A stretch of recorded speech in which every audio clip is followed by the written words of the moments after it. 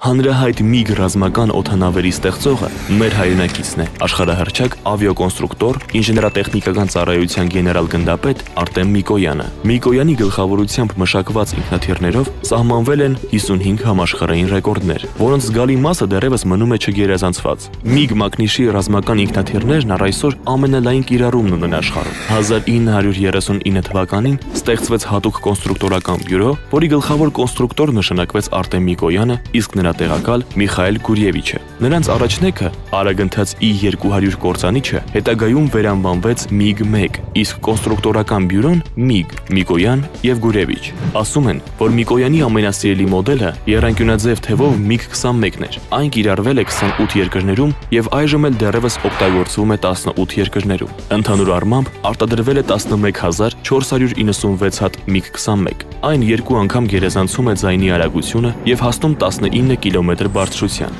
Իսկ MiG-25-ը դեռևս 1975-ին ցնցեց աշխարհը իր ցուցանիշներով՝ 3000 կմ/ժ արագություն եւ 37 կմ բարձրություն։ Նայելով դեպի ապագա, տաղանդավոր հայազգի ավիակոնստրուկտորը նշում էր, որ կգա մի օր, երբ ինքնաթիռները կլինեն առանց թևերի։